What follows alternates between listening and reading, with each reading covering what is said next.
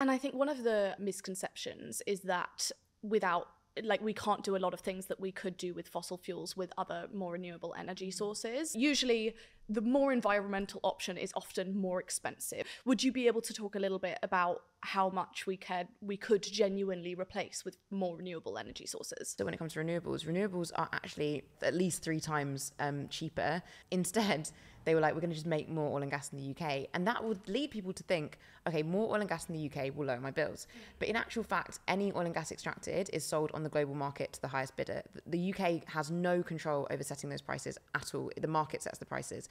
And also, the UK has no control over holding that oil and gas in the UK. So there is, there's no way that we'll either see the oil and gas in the UK. So, for example, currently 80% of oil and gas is exported um, so it doesn't actually end up staying here. But also, we can't control those prices. What we can have control over the prices of is renewable energy. We have to realise that these myths have been out there. And I'm not saying that people, I don't want people to feel